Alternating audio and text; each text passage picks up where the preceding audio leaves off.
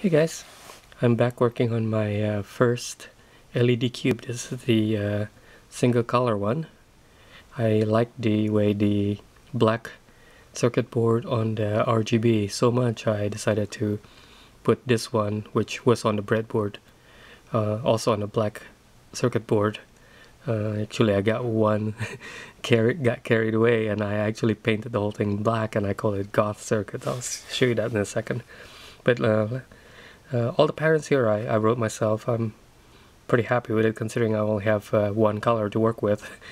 Um, those are just going through the XYZ planes and this one is kind of like random dots and then it um, exploded.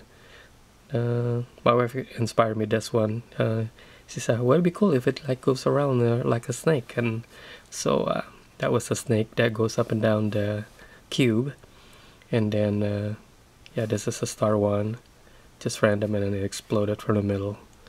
And then that one just spiral up and spiral back down. And then it uh, follows the corners of the cube. I thought it was pretty cool. So let's turn the light on and see what this goth circuit look like. Everything is black. I uh, actually spray painted everything. The uh, voltage regulator as you can see is painted the uh, this is the um, resonator painted. The wires are actually or already black but they got painted anyway. I got the uh, label here from Adafruit and they just happen to be black so fits perfectly with the theme.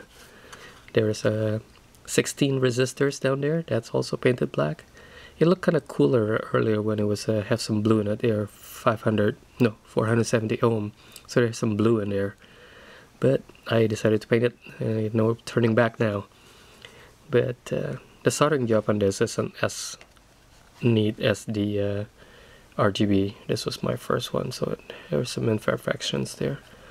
And there are ch some challenges in bringing these wires down too because I have to bring four wires separately for the uh, levels here top level second third and the bottom one there. So there's four wires there in addition to the 16 for each column of the LED for each spire.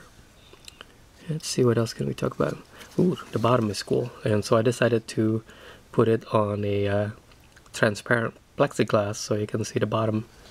Spent a long time on on desoldering so I, I figure I better display it.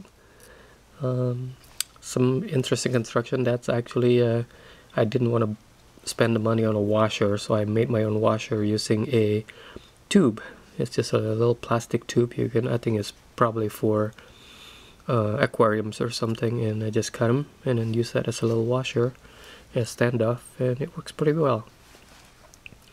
Uh, I ran out of room. I wish I have room to put a switch here.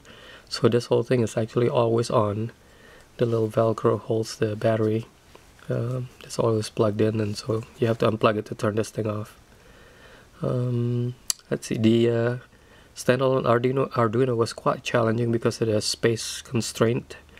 There's four transistors down there to drive the uh, four levels.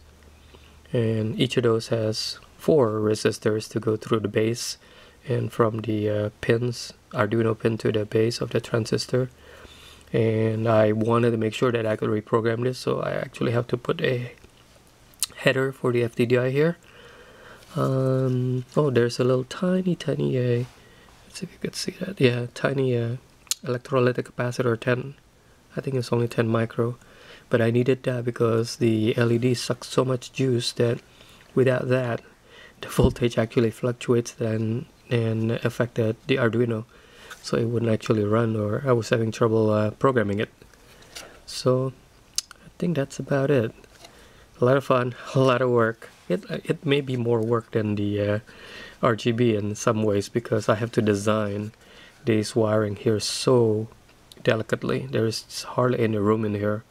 On some of them I actually do not even have uh, separation between uh, the two lines you know you can cut the traces here but in some places I don't even have room to cut a trace.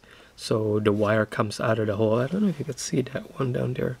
There's one right there by the red where the wire actually comes out of the cut trace instead of on the trace itself.